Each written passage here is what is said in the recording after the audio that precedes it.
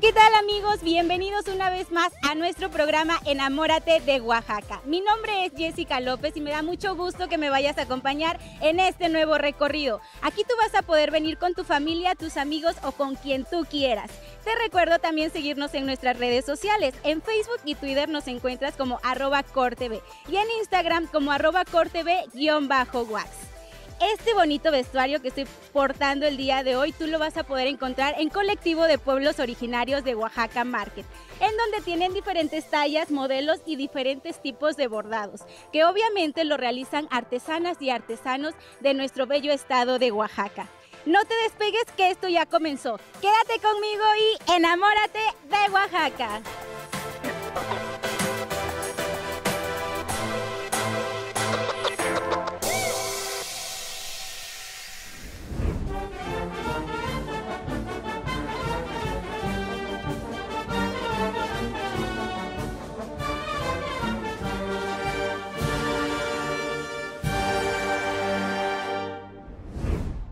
Y ya nos encontramos con el presidente municipal Abel Maclovio Pacheco García, quien nos va a comentar cómo podemos llegar a San Andrés Guayapan, qué camino debemos tomar para que no nos perdamos ningún evento de los que aquí se realizan. Bienvenido y muchas gracias por recibirnos. Pues es de la central camionera donde salen nuestros servicios de transporte directos hasta aquí en la comunidad, como son los taxis, los urbanos que llegan aquí a nuestra comunidad, dirigiéndose todo lo que es este, la zona militar, lo que es este, el monumento a Juárez, nuestras presas muy conocidas por mucha gente de aquí de nuestra ciudad de Oaxaca. ¿A qué tiempo se ubica de la ciudad de Oaxaca? ¿Cuánto nos tardamos en llegar? A 30 minutos.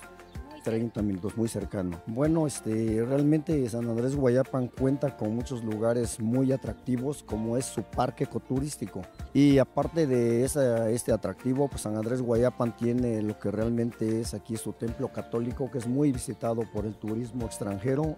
Realmente sabemos de que nuestro templo es del siglo XVI, que realmente pues muy antiguo muy antiguo que ahorita pues está en reparación, que ya está ahora sí que casi en culminación de la, este, de la restauración. Tenemos también aquí en nuestro monte los recorridos en bicicleta, a pie, caminando, caminatas, lugares muy atractivos, la vegetación es muy hermosa como ustedes ven aquí en nuestro monte. La gastronomía se conforma realmente con lo que es este, el, el mole oaxaqueño, el chichilo, las empanadas de, de amarillo, de verde, pues es una gran este, gastronomía lo que nuestra comunidad ofrece a todos los visitantes y principalmente nuestro tejate.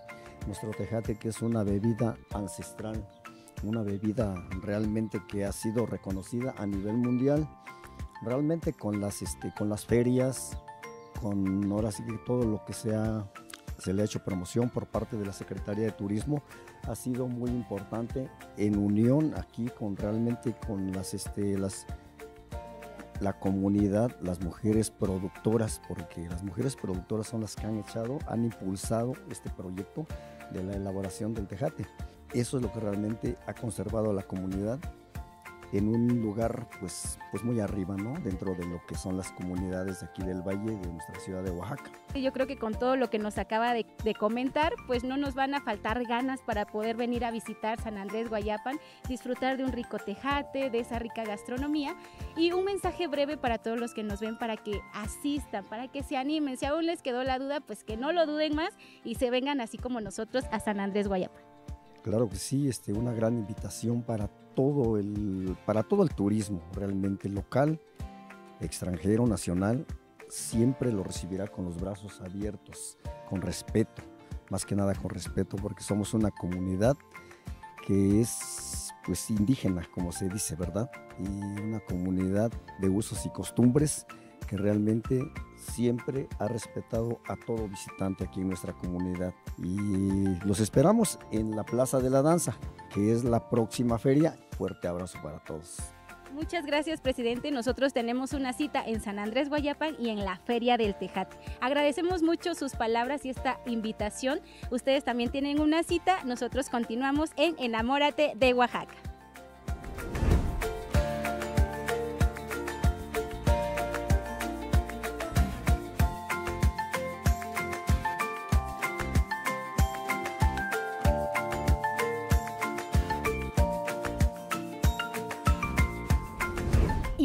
Vamos a disfrutar de la gastronomía de San Andrés Guayapan, una de nuestras partes favoritas, y vamos a hablar de la bebida de los dioses, una bebida que es reconocida internacionalmente y nos referimos al tejate. Por eso me encuentro muy bien acompañada con la señora Margarita Isabel García Pacheco y Graciela Ruiz Hernández, quienes son artesanas que se dedican a la elaboración de esta riquísima bebida. Muchas gracias por recibirnos y señora Margarita, queremos que nos platique experiencias de usted de cómo realiza esta bebida de los dioses. ¿Desde qué tiempo comenzó usted a elaborarlo? Pues muy buenos días. Mire, este, yo me dediqué al tejate desde los 20 años, pero a los 12 años, pues con mi mamá nos enseñó a moler, a moler el, este, el ingrediente primero y después el maíz. Y fuimos haciendo una mezcla que pues hasta ahorita, hoy en día, pues es el tejate. Cuénteme precisamente qué ingredientes conforman el tejate. Muchas personas no sabemos cuáles son los ingredientes exquisitos que le dan este sabor. Pues primero es el maíz. El maíz que el maíz se pone a cocer con la ceniza, la ceniza que sacamos también de la leña y posteriormente pues también le ponemos el cacao, la almendra de mamey y la flor muy especial que tenemos aquí en nuestra comunidad de San Andrés Guayapan, que es la rosita de cacao. Esa florecita pues este es un árbol muy frondoso, muy grande y pues tenemos la, florecita y la ponemos a cortar. Es esta. Esta es la florecita, ¿no? Esa es la florecita, ya, esa es este, fresca, es, es acabada de cortar. Entonces lleva un proceso también porque la florecita la ponemos a secar Ajá, ya seca y estando seca, pues entonces la ponemos a, tostar en un comal de barro.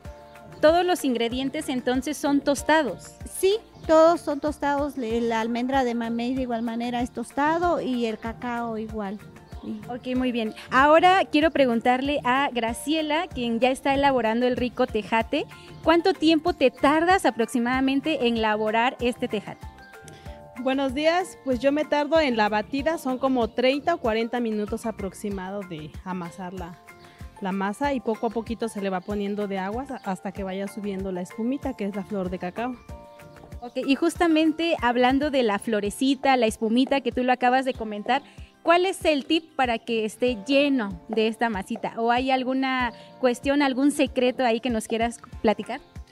Pues consiste en la batida nada más, porque la masa pues ya viene bien preparada y ya el punto es saberlo batirlo bien. Ese es el, el secreto. Muy bien, pero nos comentaba también doña Margarita que todo viene para que salga la florecita precisamente desde el tostado, ¿no? ¿Cuáles son los tips a la hora de tostar los ingredientes? Pues como le decía que tenemos que ocupar el comal y el comal debe estar este, con una lumbre suave suave y así este vamos tostando primero lo que es el cacao, después tostamos el, lo que es el huesito de mamey, la almendra de mamey y luego también la florecita. Pero todo es a, fuego lento para que así este, salga y bueno, en lo particular a mí de repente el tejate como que tiene un saborcito a chocolate, pero no mencionó el chocolate no lleva este ingrediente. Este, no, es el cacao, es el que le da el, sabor, el cacao, pero también la, florecita es el ingrediente muy especial también, la flor que tenemos aquí en la comunidad, es el ingrediente especial. Muy bien, y ese ratito antes de comenzar, pues teníamos ya la masa y justo les quiero platicar que ellas no desperdician nada, todo es muy artesanal, porque justamente estas florecitas, ¿verdad Graciela? Eran con la que estaban tapando la, masa para que se mantuviera fresca. Y bueno, veo que Graciela sigue haciendo brazo. Cuéntanos, eh, con la masa, Graciela, ¿se deja reposar? Inmediatamente que se mezcla con los ingredientes ya se puede preparar. ¿Cómo es este proceso? Así es, una vez que ya se han molido los ingredientes, se deja un poquito enfriar la, la masa y de ahí ya va la masa a la pasle para que ya, ya se empiece a batir. La pasle es justamente pues esta la cazuela, ¿no? El recipiente que como bien lo dijiste es pasle, a pastle. Y bueno, otro secreto que tú me platicabas es que justamente aquí es donde se mantiene fresco y le da un sabor especial. Así es, en estas... Yo te ayudo. Sí, en estas cazuelas de barro que se llaman apasles, se mantiene muy fresca nuestra bebida. Entonces, este, por eso es que lo elaboramos aquí en, el, en los zapazles para que se mantenga fresca y también es un, se ve muy bonito. Claro, es también lo que luce y lo que le da ese toque artesanal. Y justo ahorita que estoy eh, realizando el vaciado del agua, también es otro secreto. Se debe vaciar poquito, alto. ¿Cómo, cómo se da esta medida? Pues el, eh, es alto, es alto para que vaya este, subiendo la, la florecita, la espumita. Ustedes participan en la Feria del Tejate. Cuéntenme alguna experiencia y otros productos que justamente salen del Tejate, porque ahora tenemos nicuatole, tenemos galletas. ¿Cómo les dan esta idea de realizar más productos? Pues ahora sí que vamos innovando, ¿verdad? Vamos haciendo, este, tomando experiencias y la verdad, pues sí, hemos hecho muchas, con el tejate hemos hecho muchos derivados, como son las galletas, también el, el flan de tejate, el pastel, el pie y este, la nieve de tejate también. Y también el nicuatole, que todo eso elaboramos a base de, tejate. Claro, y supongo que tiene una preparación distinta. Lleva todos los ingredientes, pero no nace precisamente de la masa, ¿o sí? Eh, no. Eh, lo que hay nada más es lo que ocupamos, pues son los ingredientes. Y este no, no es como elaborar el tejate, es totalmente diferente. Y cuéntenos, doña Margarita, alguna anécdota que usted recuerde, pues sonriente, que la ponga feliz al momento de realizar el tejate, porque viene, me platicaba que viene de generación en generación. ¿Algún recuerdo que usted nos quiera compartir? Pues sí, la verdad, pues eh, nos, acordamos que antes, pues teníamos que, que moler, ¿no? moler todos los, todo el producto, todos los ingredientes. Teníamos que levantarnos muy temprano para que así este, pudiéramos moler en el metate. Entonces este, se molía en el metate. ¿Y de usted, sus hijas, sus nietas, realizan, ya saben elaborar el tejate? Sí, pues yo tengo una hija y es a la que también le he enseñado a elaborar el tejate y ella también pues lo vende. Pues muy bien, doña Margarita y doña Graciela, les agradezco mucho su tiempo, que nos hayan platicado más acerca de esta gran bebida de los dioses, la elaboración. Por último, coméntenos si tienen alguna red social o algún número telefónico en el que ustedes nos los puedan compartir para que la gente les pueda hacer algún pedido o justamente venir a San Andrés Guayapan. ¿Tienen algún local aquí en la comunidad donde ellos puedan asistir? Este, pues en lo particular, yo tengo aquí en el mercado, en el Víctor Bravo Aguja, en la Colonia América, ahí tengo un, localito donde eh, diario este, tenemos ahí nuestro tejate a la venta para todos los que nos, nos lo quieran visitar ahí, ahí estamos para atenderlos. Y aquí dentro de San Andrés Guayapan se ponen en el parque eh, del municipio, donde los encontramos y queremos disfrutar de un tejate. Sí, pues aquí hay varios puntos de venta donde pues nuestras mismas compañeras de aquí de la comunidad pues también ofrecen este producto. Ok, pues muchas gracias nuevamente. Ahora nosotros nos vamos a quedar porque vamos a disfrutar del rico tejate recién hechecito por Graciela. Muchas gracias Graciela y muchas gracias Margarita por sus recomendaciones, por platicarnos más sobre los ingredientes de la bebida de los dioses. Nosotros continuamos y pues yo voy a disfrutar de un rico tejate. Muchas gracias.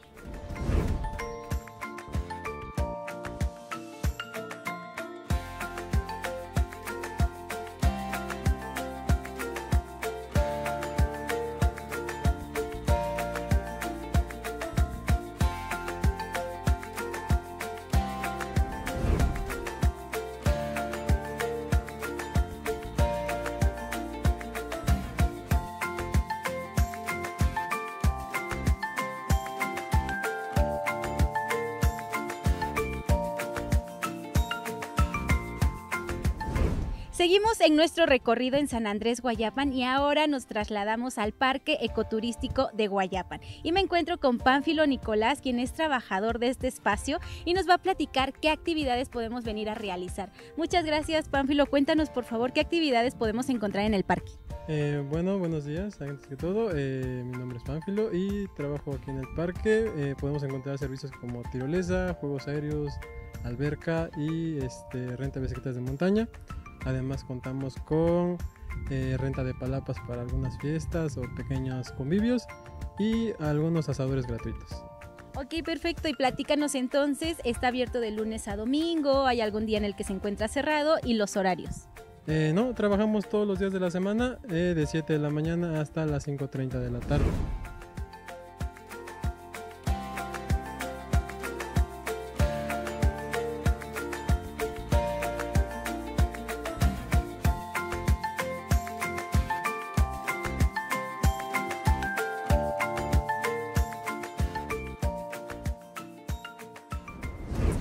Un poquito más a detalle para que la gente que venga no se pierda ninguna actividad. Pues primero sería el acceso por persona, que es de 10 pesos, que no le cobramos a niños de 1 a 4 años y eh, puede ingresar con bebidas o alimentos con el costo de la entrada. De ahí si quiere algún servicio extra tiene un costo de 50 pesos, tanto la alberca, tirolesa, juegos aéreos o, o la renta de bicicletas de montaña que es de 50 por una hora. También contamos con palapas que ya le incluye mobiliario, es para unas 30 personas aproximadamente y tiene un costo de 400 pesos. Y los asadores son gratuitos. Ok, pues pueden traer su carnita, este, pues sus juguitos, su agüita de Jamaica, lo que ustedes quieran para poder disfrutar. Tenemos un grande espacio, platícanos, aquí vienen a hacer picnic, igual si pueden acampar, pueden traer sus tiendas de campaña, se puede realizar, no se puede realizar. Sí, así es, pueden realizar básicamente de todo, fiestas, cumpleaños, ha habido bodas, bautizos. Eh, también se puede acampar. Eh, la recomendación es que lleguen antes de las 6 de la tarde. Y como tal no hay un área específica, pueden ocupar el área que más les agrade y también pueden realizar fogatas. ¿Para esto incluye algún costo o es de manera gratuita? ¿Tenemos que hacer algún permiso o el proceso si es que queremos venir con nuestra casa de campaña? Eh, si es antes de las 6, se le puede hacer la nota al momento. El costo es de 70 pesos por persona. Si llegan después de las 6, si es necesario este, llamar o mandar un mensaje al número del parque. Y más que nada es para que el velador los deje accesar. Y cuéntanos cuántos años tiene este parque en que abrió sus puertas. Eh, se abrió el primero de enero del 2016 y desde ahí ha estado abierto todos los días, excepto cuando fue la, la pandemia, que cerramos aproximadamente siete meses.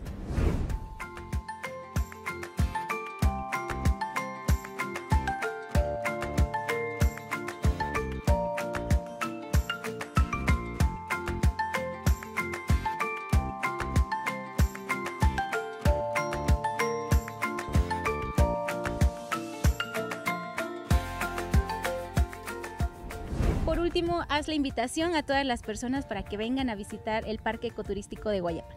Pues invitamos a todas las personas a que vengan con su familia o con su mascota. En cada caso que traigan mascota, eh, recoger sus heces o traer una palita más que nada para echarles tierra, hacer un huequito. Y eso ayuda también de manera ecológica para evitar las bolsitas de plástico. Pues te agradezco mucho, Nicolás, que nos hayas brindado esta información para que ustedes puedan venir a disfrutar de un ambiente natural, fresco, turístico, que puedan disfrutar con la familia y puedan disfrutar de su carnita asada. Nosotros continuaremos disfrutando y conoceremos más del parque ecoturístico. Muchas gracias.